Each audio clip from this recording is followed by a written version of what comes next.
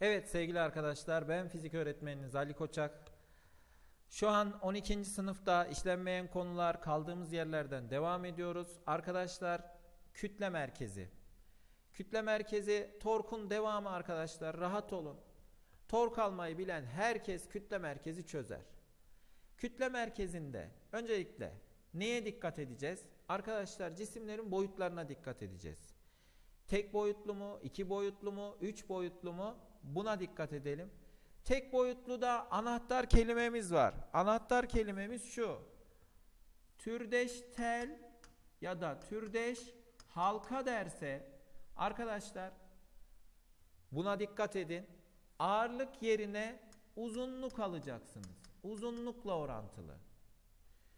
İki boyutta daire arkadaşlar türdeş daire derse ağırlık yerine alanla orantılı alacaksınız. Arkadaşlar türdeş küre 3 boyutlu ağırlık yerine hacim oranı çalışacağız. Buna dikkat edin. İşte şu şekilde bilgiler var. Arkadaşlar zaten bildiğiniz şeyler. Silindir de tam ortadan, türdeş olduğu için yine tam ortadan. Yalnız bunlar 3 boyutlu olduğu için hacimlerin orantısına bakacağız. Arkadaşlar türdeş üçgen levha. Levhada arkadaşlar üçgende bir özellik vardı. Hatırlayın geometriden. Üçgenin ağırlık merkezi kenar ortayların kesim noktasıdır arkadaşlar. Şimdi bu bilgileri hatırladık. Yalnız şuna dikkat edelim. Türdeş tel dedi. Yarı çapı R olanın ağırlığına G dersem yarı çapı 3R olanın ağırlığına kaç G derim arkadaşlar? 3G derim. Niye? Bunlar türdeş çember yani tek boyutlu. Çemberde ağırlık yerine ne alınıyordu? Uzunluk alınıyordu. E uzunluk neydi arkadaşlar? 2 pi r değil mi? 2 pi çarpı r'ye g dersem 2 pi çarpı 3 r'ye ne diyeceğim arkadaşlar? 3g diyeceğim. Ya da şunu hatırla. Yarı çapı r olan dairesel levha içi taralı olur arkadaşlar. Yarı çapı 2r olan dairesel levha e, yarı çapı R olanın ağırlığına G dersem yarı çapı 2R olanın ağırlığına kaç G diyeceğim? Aman atlamayın arkadaşlar 4G diyeceğim. Niye? Pi R kare alan çalışıyoruz. Pi 2R'nin karesi. Arkadaşlar pi R kare G ise pi 2R'nin karesi 4G. Yarı çapın karesine dikkat. Tekrar ediyorum. Çember, tel, halka Bunlar da ağırlık yerine uzunluk. Dairesel levha derse ağırlık yerine alan. Küre işte 3 boyutlu bir şey söylerse hacim aman arkadaşlar buna dikkat edin. En çok karşımıza gelecek şeylerden birisi. Şimdi devam edelim o zaman. Bakın soruda diyor ki aynı telden yapılmış çemberler. Çemberler. Yani Arkadaşlar çember deyince ağırlık yerine alan mı alıyorduk uzunluk mu alıyorduk? Uzunluk alıyorduk. Uzunluk alacaksak yarıçapı R olana G dersem yarıçapı 2R olana kaç G diyeceğim? 2G. 3R olana kaç G diyeceğim arkadaşlar? 3G. Şimdi aralara bakın. 2R, 3R, 3R, 2R. Arkadaşlar Tek tek de yapabilirsiniz. İkisini bir arada yapabilirsiniz. Mesela 2G ile G'yi tam olarak karşılaştırabileceğiniz yer neresi? Ona bakarsınız. Bu sorularda bir şey yok. 2G ile bir G'yi buluyorsunuz. Sonra ikisinin tam ortasından 3G'yi alıyorsunuz arkadaşlar. Benim size asıl çözmek istediğim şu. Şuna dikkat edin bakın. Yarı çapı R olan bir de yarı çapı 2R olan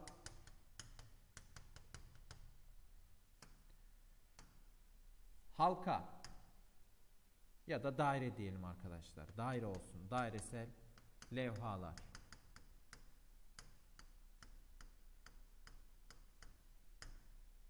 Şimdi bunların kütle merkezi nerededir ona bakacağız.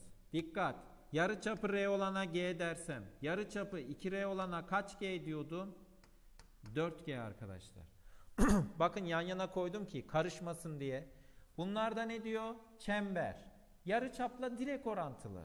Ama burada ne diyor? Levha. Yarıçapın karesiyle orantılı. Arkadaşlar kütle merkezi O1'den ne kadar uzaktadır?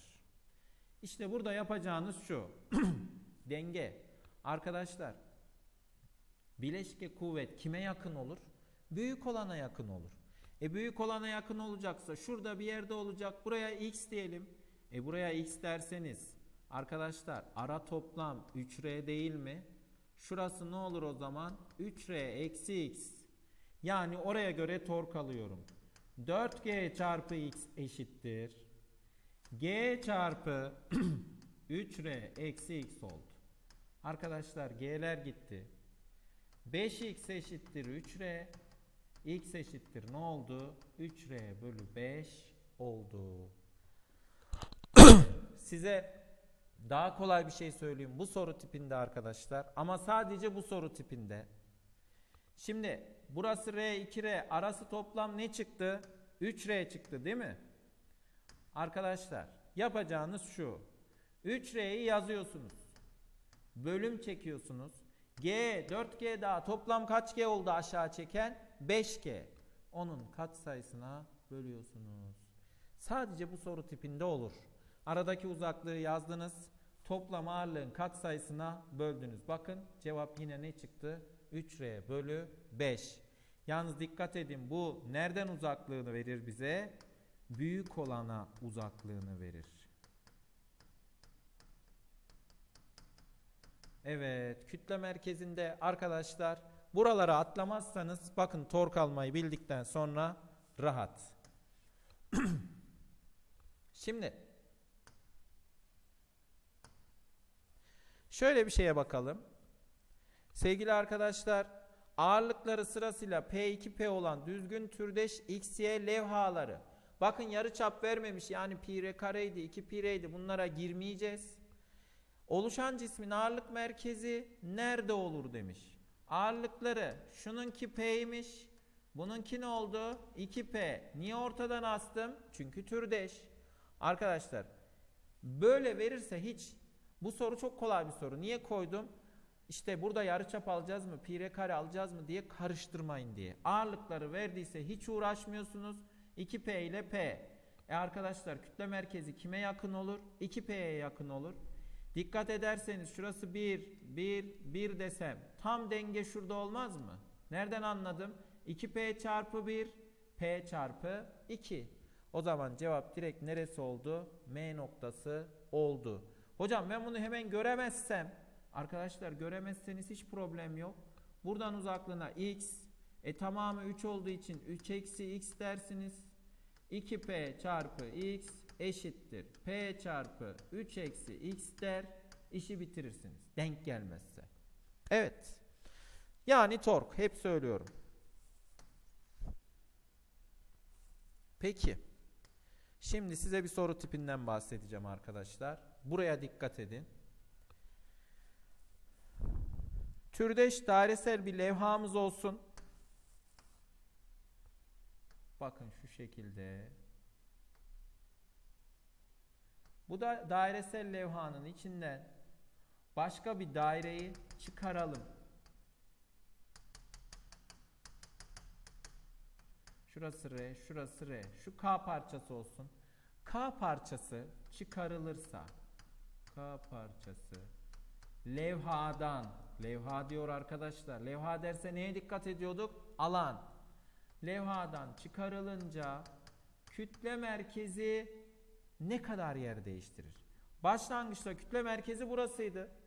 Şimdi kütle merkezi ne kadar yer değiştirecek? Bunu çalışacağız arkadaşlar. Bakın önce yapacağımız şu. Yarıçapı R olana G dersem yarıçapı 2R olan kaç G idi? 4G idi arkadaşlar.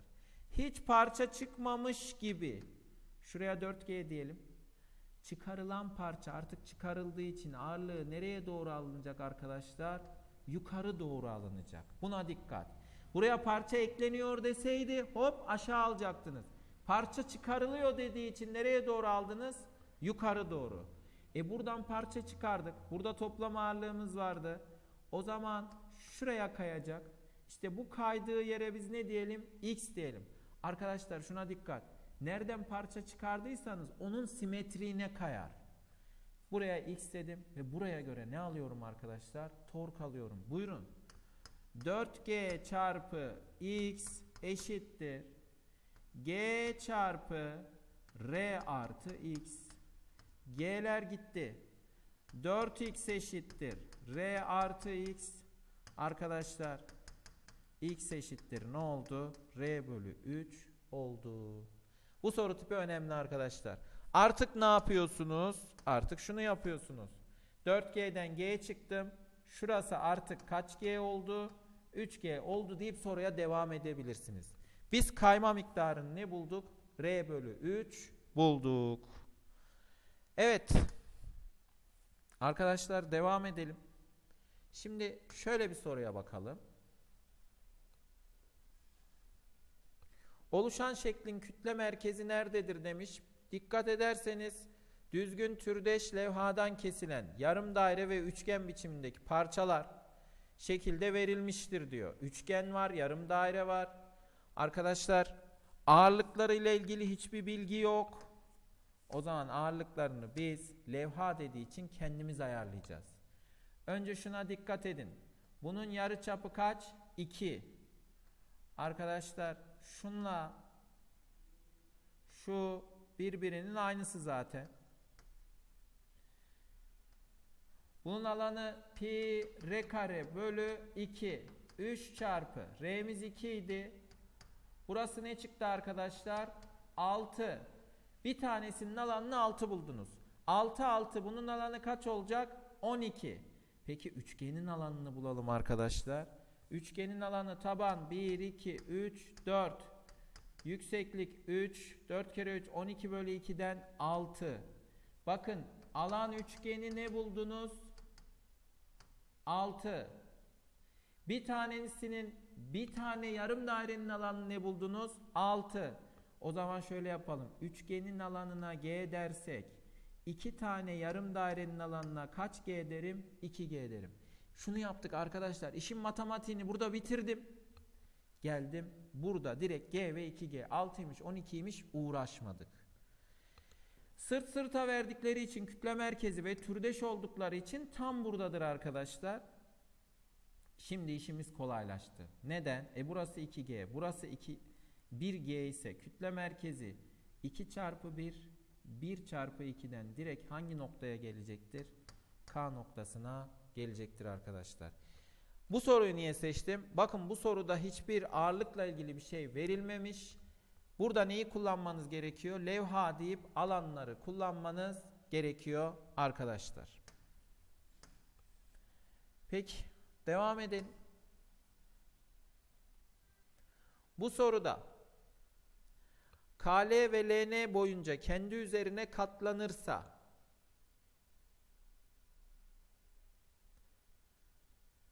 şekil 2'deki gibi KL ve KN boyunca kendi üzerine katlanırsa kütle merkezi nerede bulunur?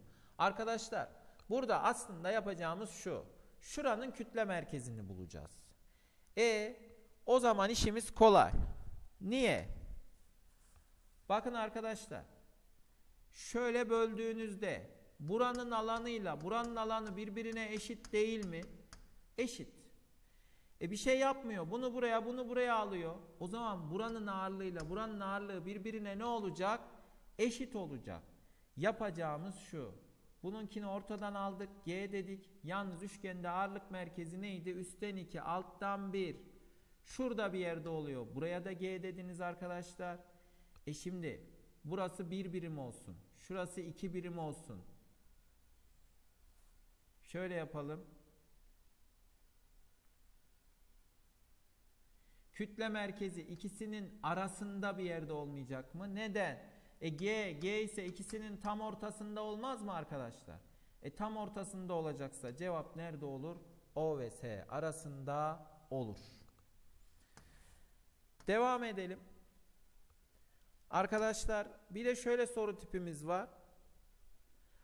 Ben bu soru tipine ayarlama sorusu diyorum. Burada gerçekten işi ayarlıyorsunuz. Çünkü ayarlanacak şekilde veriliyor. Nasıl oluyor bu? Şu şekilde oluyor arkadaşlar. 3 ile 5 aralarına bakıyorum. Kaç birim var? 4 birim var. Ayarlayabilir misiniz? Ayarlayamazsınız. 5 ile 12'yi ayarlayamazsınız. Ama 3 ile 12 bakalım. 1 2 3 4 5 3 kere 4 12 değil mi ya? O zaman 3 kere 4 12 12 çarpı 1 12 işte tam buradan kaç eme denk geldi arkadaşlar? 15 eme ya bu sorularda çok fazla hocam daha işte burası 7 em olsaydı Arkadaşlar çok onlara girmezler. Rahat olun. Ona girerlerse zaten bir formülü var. Onu da size ilerleyen videolarda veririm arkadaşlar. 3M, 12M işte burası kaç M oldu? 15M. İşte şimdi rahatladınız. Burası 15M S. E burası 5M. Kesin denk gelecek. 1, 2, 3, 5 kere 3, 15. 15 çarpı 1, 15. İşte tam burada denk geldi. Yani kütle merkezi neye denk geldi? 4'e 4'e denk geldi arkadaşlar. Evet.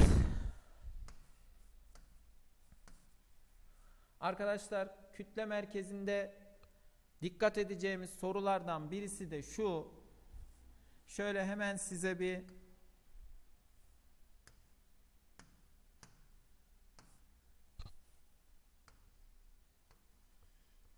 birim kare vereyim.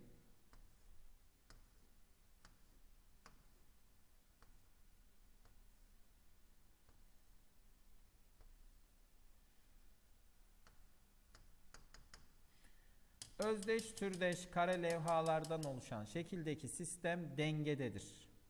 Soruda diyor ki K parçası kesilip atılırsa dengenin bozulmaması için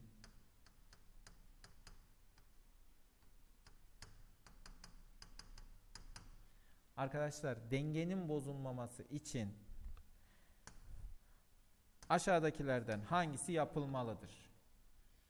M şurası M olsun. Şurası N olsun. Şurası P R S olsun. Aşağıdakilerden hangisi yapılmalıdır? Arkadaşlar dikkat edin. K parçasını bu taraftan kesiyorsunuz. Dengede başlangıçta Bunlar özdeş türdeş kare levhalar. Arkadaşlar buradan bir parçayı çıkarıyorsunuz. Taralı K parçasını çıkarıyorsunuz. Hangisi yapılırsa bir diyelim. Yalnız M'yi çıkarmak.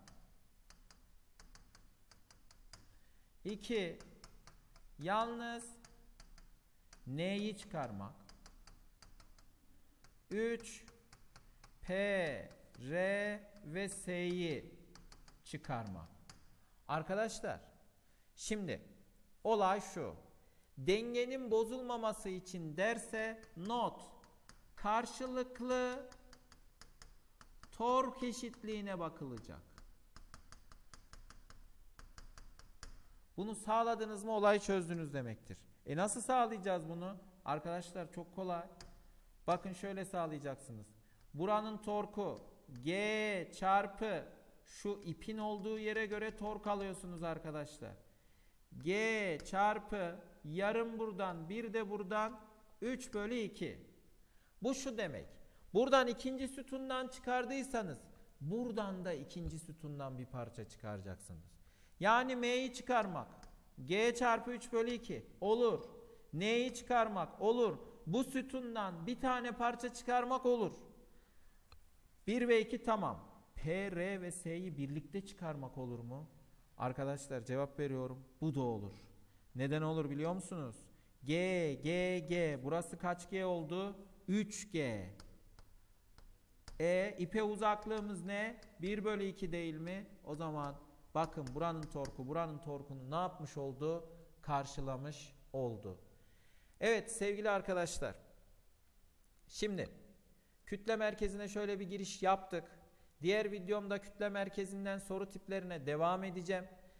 Ee, siz Tork'tan soru çözmeye başlayın. Tork, e, kesişen kuvvetlerin dengesi, Lami teoremi çözmeye başlayın. Kütle merkezinden de sorularımızı çözüp sonra basit makinalara geçeceğiz. Arkadaşlar e, kendinize iyi bakın. Evde kalın, hoşça kalın diyorum.